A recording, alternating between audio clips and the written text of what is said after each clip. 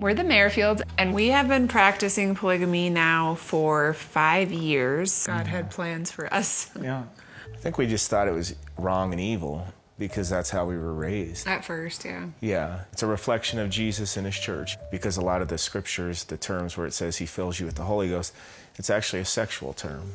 It actually means like sperm going into like intimacy that way. Um, okay, let's remember Ephesians 5 that marriage is an earthly reflection of the spiritual union of Christ and the church. That is true. One Christ, one church, okay? And a husband is to love his wife as Christ loves the church. Singular husband, singular wife. Actually, we see throughout scripture that where there are multiple wives, there's a problem. Mo wives, mo problems. This is just an excuse for him to be a hoe.